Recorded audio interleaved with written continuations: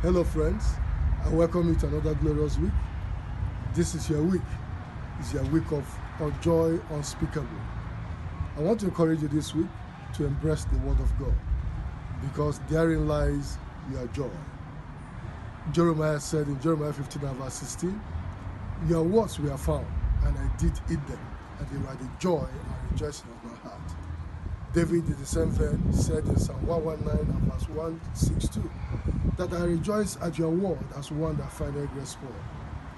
What more? The city of Samaria erupted with joy when they received the gospel in Acts chapter 8 and verse 8. So this week, I want to encourage you more than ever before to meditate on God's word, study it, and chew it, embrace it. Let, let it become part and parcel of you. And you will experience joy unspeakable, full of glory.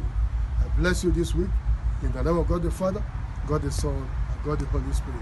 Remain ever beautified.